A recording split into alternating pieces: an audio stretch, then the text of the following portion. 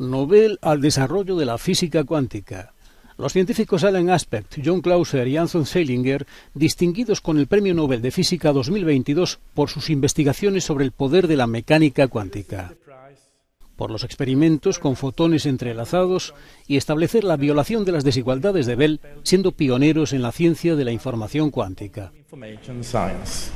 El físico Anton Seilinger, de 77 años, se destacó por la teletransportación de información de una orilla a otra del canal del Danubio y por alcanzar el récord en la distancia de la transferencia de fotones entrelazados para transmitir datos sin conexión entre las islas de La Palma y Tenerife. Las aportaciones de Seilinger son más prácticas que teóricas y han abierto nuevas posibilidades para una incipiente tecnología cuántica.